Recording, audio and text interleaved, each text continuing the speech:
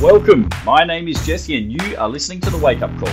This show is about opening your eyes to how you've been living, bringing awareness to the standard you've been operating at, and helping you start living to your full potential. There are two ways I'll help you do this one, by disciplining your mind, and two, by strengthening your body. It's time to take stock of your current performance and go to the next level. Let's do this. Are you giving your best? I mean, are you really giving your 100% best effort? This is something that I want you to start to think about with your life. Whatever your values are, whatever you hold most dear and close to your chest, the things that are most important to you, I want you to really analyze and start thinking about what level of output you are currently operating at. And when it comes to this question of are you giving your best? Everybody hears this and everybody wants to answer this question with a yes. Yet for most individuals, it's a lie. You know yourself better than any other person on the planet. You know exactly what you're capable of. Now, what I want you to do is think about that for a moment. Think about your capacity, your potential, what you are truly capable of achieving with your life.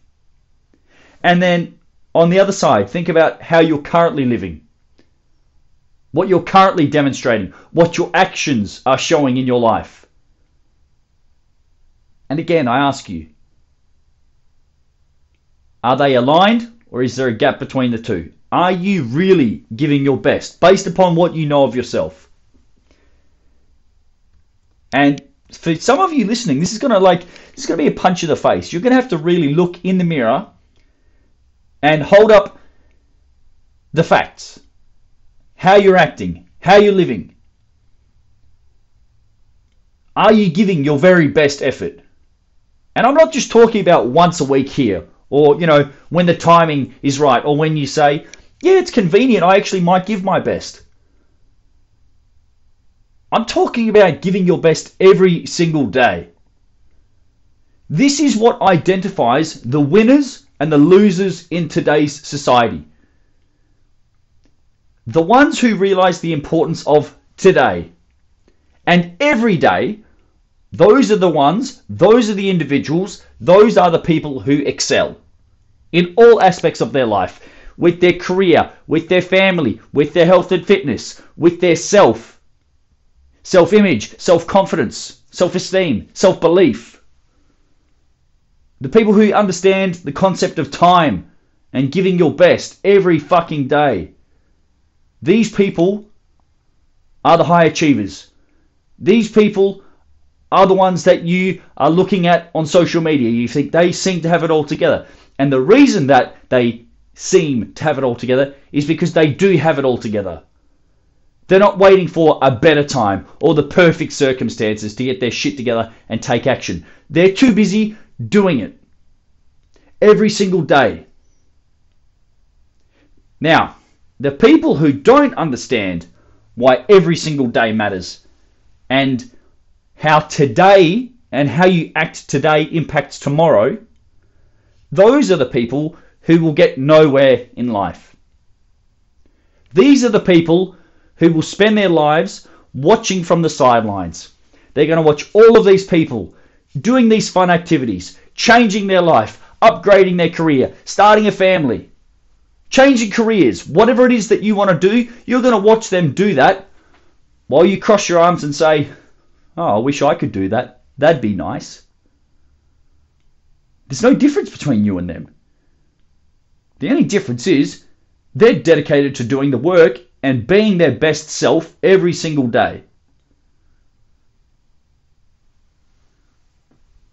The individuals who moan and complain that life is hard, these are also the same individuals who do nothing to make their life easier. These are the people who want the shortcut, the easy route, the path of least resistance. And if you've been listening for a while, you know that path leads fucking nowhere. It does not take you to where you want to go. It doesn't help you get your fitness in order. It's not going to help you create great relationships. It's not going to help you advance your career. You need to do the hard things. You need to tackle the challenges face on. Yesterday, I sent out my weekly newsletter, and I'm sure that it ruffled a few feathers. I'm sure it gave some people who read it a proverbial punch in the face that perhaps they were not expecting. But I did also outline that delicate snowflakes should not read it. So, for the people who did read it, I hope you enjoyed it. I hope it did give you a bit of a wake up call, a bit of a slap in the face but the message within the email was a powerful one. And I wanted to share that with you today, here, on the wake up call. For me personally, as an individual, not as a business owner, not as you know a family person, but me as an individual, as Jesse Fulla. Every single day, I evaluate my performance and how I showed up today. I don't leave it up to chance. I don't guess and I don't hope that things are going to turn out the way that I want. I am responsible for my life. As you are responsible for your life. But the reason that I constantly and critically evaluate my own performance and how I act every day is because I know that time is fleeting. I understand the concept of time. Not being able to actually look at your watch and say, it's whatever fucking time it is. But I understand clearly that once today is finished, it isn't coming back. Think about that for a moment. After today, it's fucking gone. Blink, it's gone. It's not coming back. You don't get that 24 hours back. It's done. So today you have the opportunity to show your best self, to develop into a better human being, a more capable human being.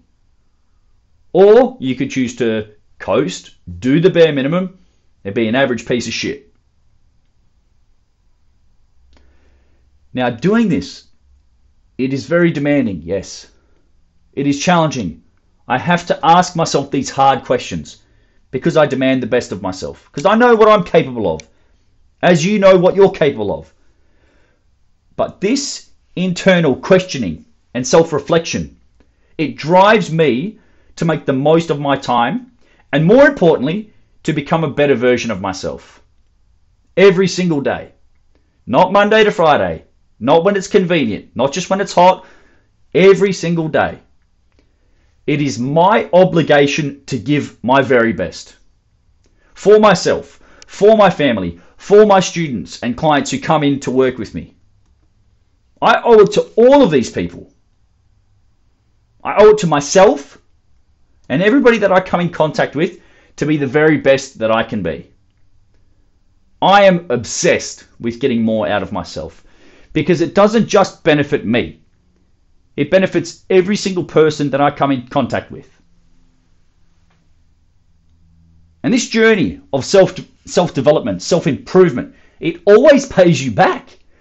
When you commit to this path that I'm talking about, you see the connections. You start to connect the dots. You read a book, you become smarter, or you gain more experience and understanding in a certain area, and therefore you can make better decisions moving forward. That's a fantastic investment of time and mental bandwidth. You go and lift some weights. You do a little bit more than you did last week because you know about the progressive overload principle. And then as a result of doing that, you become stronger and fitter and more mobile and all of these other great things that come with being physically active and overloading your body. You work on improving your business or the way that you go about your work and you get better results as a byproduct. Or maybe it puts you in a position to be considered for a promotion.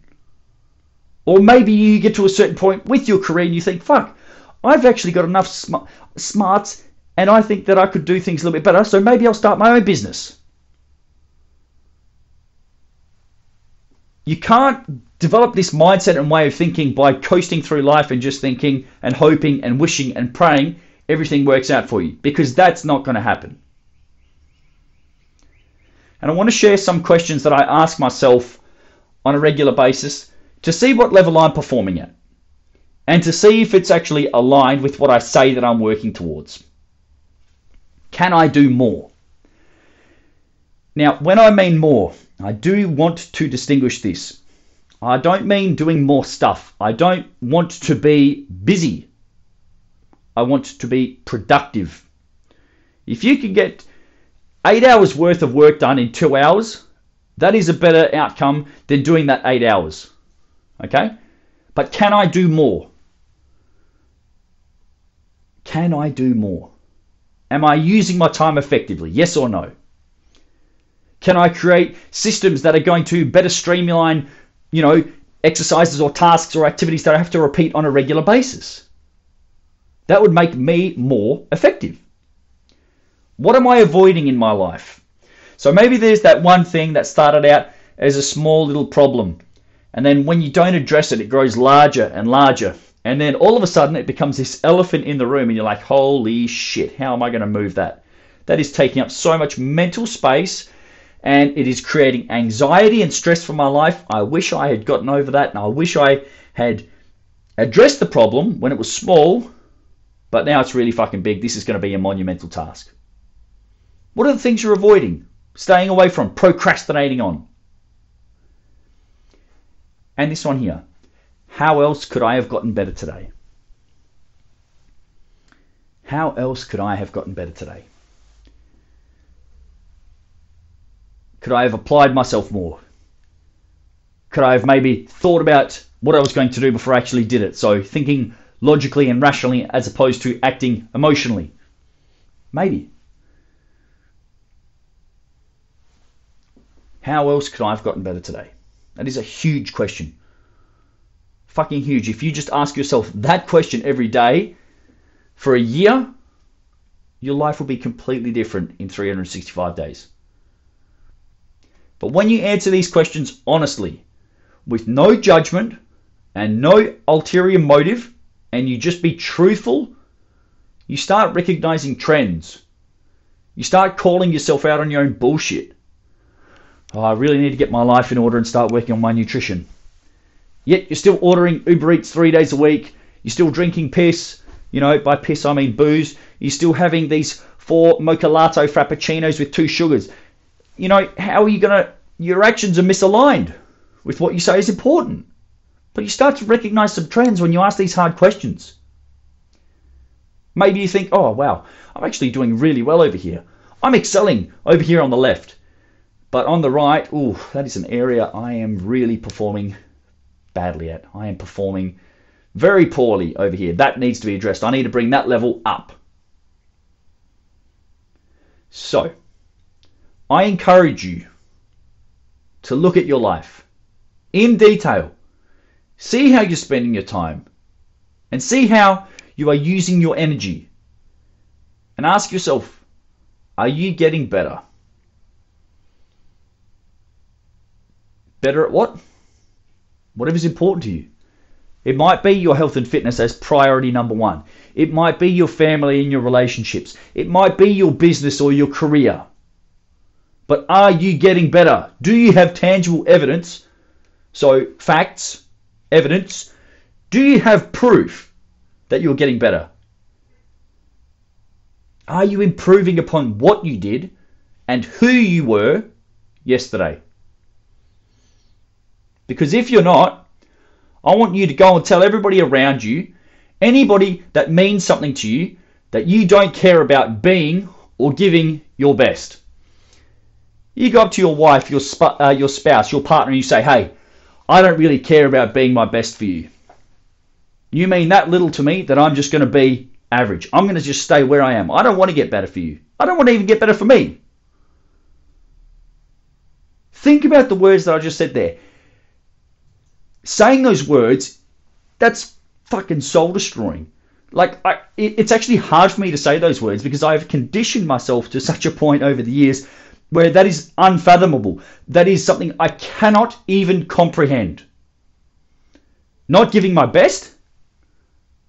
What are you fucking crazy? How could you not give your best?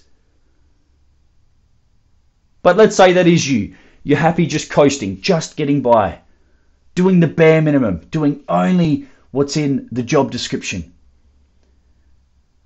And let's say you can go and tell everybody that means a lot to you and say, hey, I don't want to get any better. I don't want to improve myself for myself or for you.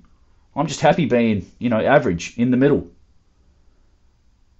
Because that's what you're demonstrating. If you're not prepared to go above and beyond what you're doing, you're not going to improve. You're not going to develop. Every single day is a chance, is an opportunity for you to get better, become a better person. And it's not just a chance or an opportunity, it's more than that. It is your obligation to extract the very best from yourself. Because I can tell you right now, nothing but your best is good enough for yourself and the people who matter to you.